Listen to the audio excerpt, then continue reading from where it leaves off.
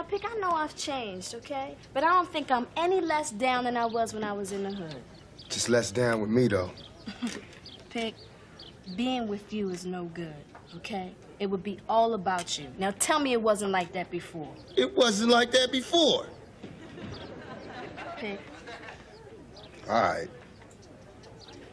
Well, maybe I'll be down to scoop you up later in life if you ain't all shriveled up.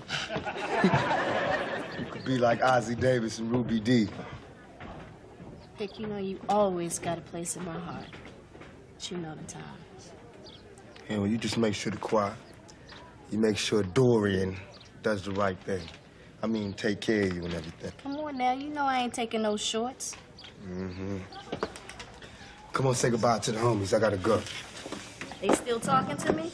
No, but come kiss some butt or something. Come on. Mm, mm, mm. Pick. I can't look. No, you lost those privileges. I still feel the magic. I don't yeah. care.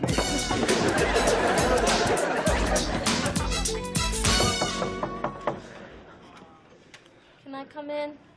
Yeah, just don't tell no boxing jokes. That's what you get for trying to play hard.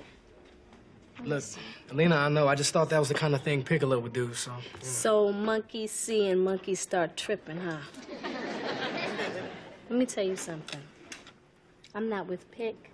I'm not with Nino Brown or any other Mac Daddy wannabe. I'm with you. Dorian Heywood. Doesn't have to change his game for me, and who's a good influence on me. What's wrong? Nothing. I was just thinking about something Mr. Gaines said to me earlier. Uh-oh.